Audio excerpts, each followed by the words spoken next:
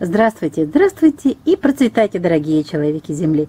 На канале Раиса Горяченко «Дача, сад, огород и цветы» очень важная тема посвящена второму хлебу. И этот второй хлеб сегодня имеет название картофель синеглазка.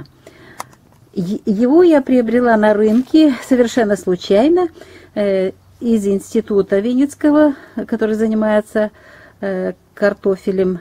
Э, была машина, и я там увидела вот этот сорт. Э, в нашем регионе его очень редко выращивают, но вот э, мне попал такой сорт, и я его посадила. В первый год я выделила место там, где был добавлен в, в наш грунт песок, и получился довольно-таки крупный картофель. В этом году чуть-чуть помельче. Но я обязательно этому картофелю оставляю одну грядку. Этот картофель мне нравится прекрасным видом, э, зеленый, красивый. И это неспроста, ведь э, это гибрид нескольких форм культурного картофеля с дикорастущим. А дикорастущий как раз такой темно-зеленый, устойчивый э, картофель. И этот картофель довольно-таки старый. Он выведен в конце 1940-х годов и зарегистрирован под номером таким интересным 15555. И его вывел э, селекционер Домин в Институте крахмала продуктов. И, э, к сожалению, после испытаний его признали бесперспективным. Ну, основная причина по информации, которая у меня есть, это было плохое хранение. Я думаю, что плохое хранение у него получается из-за того, что если хранить его насыпью и в больших объемах, то, конечно, доступа воздуха нету, и получается, что вот они, э, они имеют форму вот такую овальную и имеют форму вот приплюснутую. Поэтому э, вот этот картофель получается, что он Э, лежит друг на дружке и поэтому плохо хранится. Но я храню в ящиках и никаких у меня претензий к этому картофелю нет абсолютно.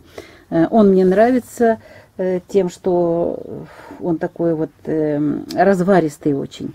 Я его использую для первых блюд. Большой процент крахмала, довольно-таки вот белый, красивый картофель. Вот в разрезе он такой красивый замечательный картофель. Э, не готовлю пюре, потому что рассыпается, разваривается картошечка. Э, и э, очень хорошо печь его. Он раскрывается в микроволновке, словно бы цветочек. Чем он еще хорош? Что он очень устойчив против заболеваний. Видимо, вот это качество было им взято от дикорастущих форм картофеля, которые как раз наиболее устойчивый к заболеваниям. Он устойчив к фитофторе, его не берет, она прекрасно себя чувствует, даже в дожди и в прохладу. Э, он устойчив к картофельному раку, э, к парше, к ряду вирусных заболеваний, а также к нематоде. Вот это очень хорошая характеристика, и практически у нас только картофельная моль его поражает, потому что и то в небольшом количестве, не знаю, с чем это связано, там, скорее всего, росли э, как раз рядышком э, бархатцы. Возможно, это сыграло свою роль, и его мало повредила картофельная моль. В кусте не так очень много картошин, 8-10, э, вес такой вот средний, 150 граммов, 200 граммов – в прошлом году были и объекты такие картофельные, которые э, при взвешивании показали нам 250-280 граммов. Это очень хорошо. Высокое содержание крахмала позволяет э, э, готовить прекрасный борщ, суп, но борщ изумительный получается благодаря тому, что высокое содержание крахмала, высокое содержание белка, ведь здесь же витамины группы В и минеральные соли дают такой вот очень насыщенный вкус борща. И он такой насыщенный, приятный, нежный. Вот эта рассыпчатая картошечка очень нам нравится.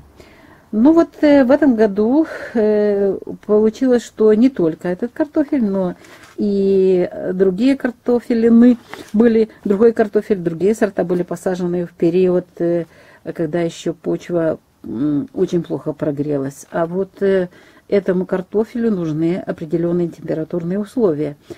Почва на глубине 10 сантиметров должна прогреться уже 8 и выше градусов, а среднесуточная температура должна быть э, выше 10 градусов.